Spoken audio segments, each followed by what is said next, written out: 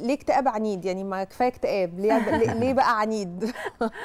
بصي هو الاكتئاب يعتبر اضطراب مزاجي. فهو مرتبط بالمزاج تمام؟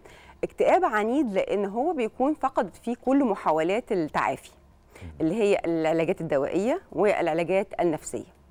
فده بيبقى راجع لأن بيبقى مرتبط شوية بمرحلة الطفولة. يعني هو بيبقى مرتبط بصدمات الطفولة أكتر لأن إحنا آه، الاكتئاب آه، كمان بيبقى موجود عند الأطفال. بس للأسف ما بي... اكتشافه ما بيبقاش سهل لأن آه، الأعراض بتاعته بتبقى مختلفة عن الأعراض عند الكبار. يعني إيه اللي ممكن يخلي طفل يبقى عنده اكتئاب؟ بصي هي ممكن يكون كذا عامل. يعني الطفل مثلا اللي بيكون آه، وحيد يعني مثلا عنده أربع سنين فما عندوش أخ مثلا يعني. وبعدين جاله أخ تاني. فهو الطفل بيعاني بس الأهل مش بتعرف تصنف المعاناة اللي الطفل بيعانيها. ممكن يكون طفل مثلا مهمش. برضه بيعاني بس برضه الأهل مش عارفة تميز إيه هو بيعاني من إيه. لذلك كمان هو صورته عند الأطفال بتبقى في صورة الهياج المستمر اللي هو أحيانا الأهل بتروح لحتة إنه آه، ممكن يبقى فرط حركة بس هو بيكون اكتئاب. طيب الطفل من هو صغير لما بيكون بيعاني من حاجة زي كده وبيبقى عنده هي- هياج شديد فهو دايما لافت لنظر الآباء والأمهات. هو دايما عامل إزعاج. فهو بياخد منافع من ده إن هو بيبقى مح- محط انتباه وأنظار المحيطين. فبيكبر على كده أيوة، إن هو. عنده مكتسب مش قادر يسيبه.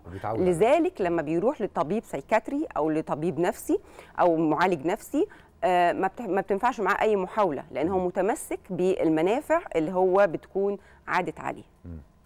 طب عشان كده اسمه اكتئاب عنيد. عنيد. طب مؤشرات الاكتئاب يعني كلمة الاكتئاب كلمة إحنا بنسمعها على طول. تمام. علميا توصيفها إيه؟ وهل في درجات للاكتئاب ما قبل الاكتئاب؟ يعني ممكن يبقى في حد عنده قلق مستمر التفكير ال- ال- المستمر في بعض الحاجات الخوف من المستقبل. هل في درجات بتبقى آه، أقدر أصنفها بعدين أقول هذا الشخص مكتئب بشكل علمي؟ طيب بص خلينا الأول نقول إن الاك- الاكتئاب ليه عدة أسباب. يعني في أسباب وز... يعني جينية. ممكن يبقى عنده تاريخ مرضي في الأسرة وده بيبقى أكثر عرضة للإصابة بالإكتئاب تحت ضغوط الحياة.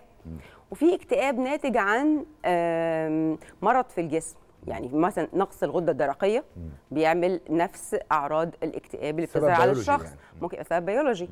آه، ممكن يكون سبب آه، نفسي. قبل ما بيروح يعني أول حاجة لازم بيتجه الشخص لطبيب يعمل كل الإجراءات إن هو يتأكد إن هو مش ملوش أي يعني مش ملوش أي عضوي ولا هو جيني ولا أي حاجة عشان يبقاش تدخل دوائي من الأول. وبعد كده لما بيتأكد إن خلوه من كل الأسباب اللي ممكن يعني يكون التدخل فيها دوائي بيتجه للمعالج النفسي اللي هو بتبقى العلاجات بتاعته بتبقى علاجات كلامية ملهاش علاقة بالأدوية. طيب كمان حضرتك قلت لي على إن الاكتئاب ليه عدة أشكال وعده أنواع. هو في فرق ما بين الاكتئاب والقلق. يعني إحنا إحنا عندنا نوع من أنواع الاكتئاب هو الاكتئاب المصاحب للقلق.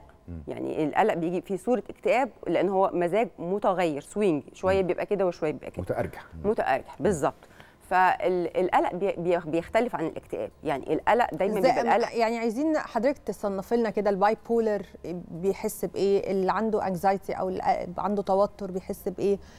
عايزين نعرف عشان بقينا إحنا دلوقتي كل ما يعني عارفة حد زعلان شوية وأنا وإيه الفرق بين إن أنا زعلانة شوية؟ ف... فما حدش يعني ما حد يسألني ما يقولش أنا مكتئبة أو عندي اكتئاب إنه دي كلمة كبيرة شوية. لا بصي هو الاكتئاب يختلف تماما عن يعني كل اضطراب نفسي هو مختلف عن ال- الاضطراب الآخر. يعني مثلا مثلا لو إحنا خدنا القلق مثلا على سبيل المثال. القلق دايما أنا بخاف من حاجة لسه ما حصلتش. حاجة في المستقبل. حاجة آه، أنا بتوقع لها اللي يحصل. ودايما العقل بتاعنا بيميل للتوقع السلبي. صحيح. يعني ما بيميلش للتوقع الإيجابي. يعني إلا بقى لو حد تدخل وقال له يا عم سيبها على الله بقى إن شاء الله اللي جاي يبقى حلو. ده مش بسهولة العقل بيعملها. الاكتئاب غير كده. الاكتئاب بيبقى حالة من فقدان الشغف. مش عايز هعمل حاجة. آه ما عنديش طاقة. آه بميل للحزن. آه بميل. للبكاء نو- ل- الانطواء الانسحاب شوية. من ال- ينسحب من بالظبط. حتى لو بيروح الشغل بيبقى متململ كده اللي هو إيه طب أمشي همشي إمتى؟ طب آه، عايزة أرجع بيتي بقى بسرعة. طيب كده حتى ال ال يعني مثلا ال الأفكار بتاعته. الأفكار بتاعته مثلا إيه وإحنا جينا الدنيا ليه؟ طب هو من الناس اللي بتموت دي بتستريح. لأن بنلاقي الانتحار برضو موجود عند الاكتئاب. فهنا بن- بنشوف طبعا مش كل الناس اللي بتعاني من يعني مش عايزة برضو إن كل اللي يسمعني يقول لأ طب أنا بس عندي اضطرابات في النوم. آه برضو من علامات الاكتئاب الاضطرابات في النوم. اضطرابات النوم مش معناها إن أنا ما بعرفش أنام. لأ معناها إن أنا ممكن مثلا أخش أنام فأنام ساعة وأصحى خلاص أنا مش عارفة أرجع أنام تاني. ده بتحصل كتير آه آه. آه، مثلا آه، اضطراب في الأكل في الشهية. مثلا ممكن تيجي بفرط في النهم في الأكل أو إن أنا مش عايز آكل خالص. فبيبقى ليه كذا علامة. إحنا إحنا المؤشر بتاعنا إيه؟ إن الأهل مثلا لو لاحظت تغير في السلوك آه الميل للعزلة الميل للاجترار الماضي الميل لإن هو ما عندوش همة يعمل حاجة أنا مش قادرة أقوم أنظف البيت مش قادرة أعمل أكل كله أي حاجة. بميل للنوم كتير بال 20 ساعة عايزة أنام.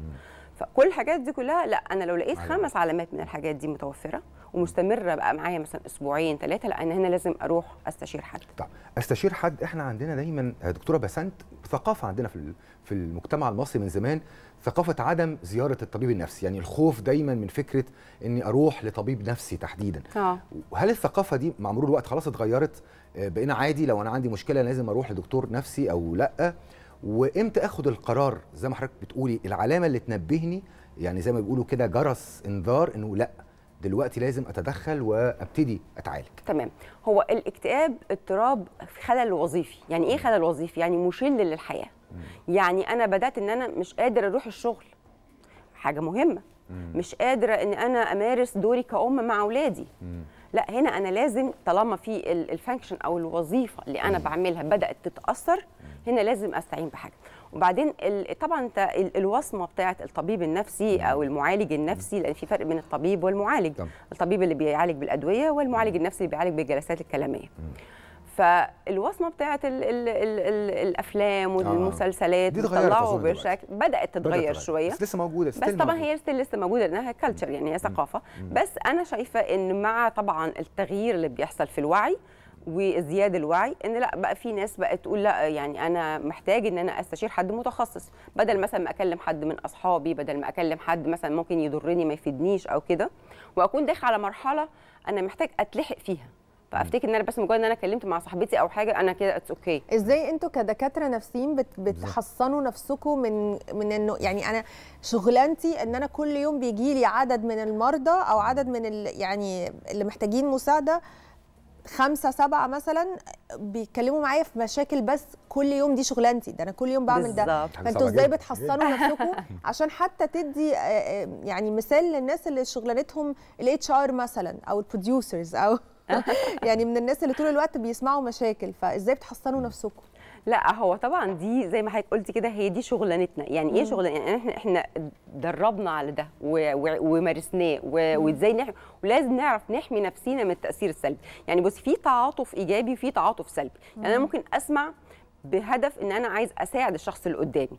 وفي حد ممكن يسمع ك friendly بقى إن هو يتعاطف تعاطف سلبي يخش جوه المشكلة بتاعت الشخص. ففي اختلاف ما بين التعاطف الإيجابي أو التعاطف اللي بيؤدي إلى إني أنا بوصل معاكي لحل إن أنا خارج المشكلة مش بدخل نفسي جوه المشكلة. والتعاطف السلبي اللي هو ممكن يكون الناس اللي مش يعني مؤهلين لده بينسحبوا وينجذبوا إلى التأثر بطاقة جميل. الشخص اللي جميل. بيشتكي دايما ليهم أو بيفرغ عندهم الإنف- تفريغ انفعالي جميل. ف طب في حالة الاكتئاب العنيد لو حد مريض بهذا الاكتئاب العنيد اللي هو بيرفض إنه يعترف إن هو اولا مريض وبيرفض يتلقى أي علاج سواء علاج دوائي أو علاج حتى في جلسات مع طبيب نفسي الحالات دي حضرتك بتتعاملي معاها إزاي وإزاي لو هو ما عندوش الإرادة إنه يتغير لأن برضه في النهاية هي إرادة ذاتية هو طبعاً. قراره الداخلي بالظبط. مهما قعد مع طبيب نفسي أو غيره أنت اللي بتمتلك قرارك في أن تغير من نفسك. مش عارف الكلام ده. مظبوط ولا لأ يعني. لا مظبوط جدا طبعا. هي الإرادة في التغيير هي دي العامل الأساسي للتحسن. فكون إن هو يجي غصب عنه تأكد إن نتيجة العلاج مش هتبقى مجزية معاه جدا. لأن هو بيبذل جهد في تدريبات نفسية إن هو بيبدأ يمارسها مع نفسه عشان يوصل للتغيير. فلو هو مش جاي بإرادته فنسبة التحسن هنا بتبقى قليلة خالص. إنما ممكن يجي اللي هو إيه طب أنا أروح كده للعلم بالشيء أشوف الناس دي بتقول إيه أو أي حاجة.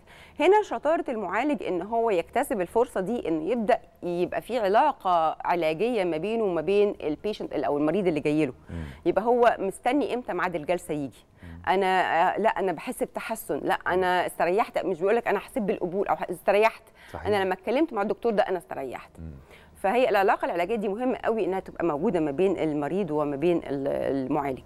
طيب خليني أبقى صريحة مع حضرتك إنه ساعات كتيرة قوي ما حدش بي عنده الإمكانية المادية إنه يروح لدكتور نفسي. أقدر إزاي ألعب بتفكيري أنا وبالتفكير السلبي اللي بيجي لي واحوله لتفكير ايجابي وارفع عندي هرمون الاكسيتوسين أو الدوبامين. طيب اللي هي هرمونات السعادة يعني. هرمونات السعادة دي بتترفع بالرياضة بال cardio. يعني لو أنا كل يوم بلعب cardio حاجة بتعلي ضربات القلب هنا أنا بحفز زي إفراز المشي الهرمون. مثلا حاجة نقدر كلنا نعملها. المشي ركوب العجل ال- السباحة الحاجات اللي فيها hard work يعني الحاجات اللي تعلي ضربات القلب دي بتساعد على إفراز الهرمون السعادة. طيب بس في حاجة تانية بقى أنا كمان يعني لو الشخص فعلا عنده إرادة للتغيير أنا هديله روشتة مكونة من ثلاث كلمات هو لو استخدمها ودرب نفسه عليها آه هتبقى وقاية من الاكتئاب وهتحسنه جدا. ثلاث حاجات. ثلاث كلمات. أولهم إنجاز سعادة آه معنى. الثلاث كلمات دول أنا لازم أبقى واعي إن أنا اليوم بتاعي يبقى فيه بحقق فيه ثلاث حاجات دول. إنجاز يعني إيه؟ يعني أنا قبل ما أنام بالليل لأن طبعا مريض الاكتئاب يعني بي بيبقى المزاج بتاعه الصبح اتقفل خلاص. مم. هو مش عايز يعمل حاجة ومش هيتحرك من مكانه. فأستغل الفرصة إني أنا من بالليل أجيب نوتة صغيرة أو ورقة صغيرة أكتب فيها ثلاث حاجات. إيه الحاجة اللي ال- ال- بالنسبة للإنجاز؟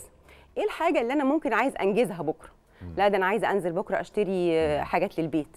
أو مثلا عايزة آه، أحضر فطار يكون حلو بالنسبة لي. لازم حاجة يبقى فيها إنجاز. الإنجاز كمان بيحفز لو على حاجة بسيطة. حاجة بسيطة. أعملها. أنا لازم أعمل حاجة. السعادة. هو أنا إيه الحاجة اللي بتخليني أنا سعيدة؟ يعني مثلا مش مش ببذل فيها جهد. أنا مثلا بسمع أغنية معينة. أو آه، بحب آه، مثلا آه، أتفرج على فيلم معين أو حاجة بتخليني أنا سعيدة لازم أحطها في يومي. طيب حاجة ليها معنى. يعني إيه حاجة ليها معنى؟ يعني مثلا أنا علاقتي بربنا دي حاجة ليها معنى.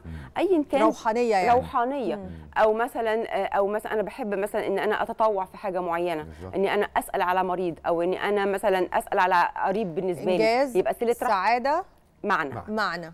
نشكرك دكتورة باسنت فاروق استشاري الصحة النفسية شرحت لنا يعني إيه الاكتئاب العنيد يا رب ما حدش آه، يعني يجي له أي نوع من أنواع الاكتئاب وكلنا يعني اتعلمنا منك شوية حاجات كده نشتغل عليها لو حد فينا حس إنه واصل للمرحلة دي. اشكرك يا دكتور. اشكرك شكرا نورتينا وشرفتينا يا رب. كل أيامنا كده إنجاز وسعادة ويبقى في تفاصيل حياتنا معنا معنا. زي ما حضرتك قلتي. بالظبط ميرسي جدا ليه شكرا ليكي. نورتينا.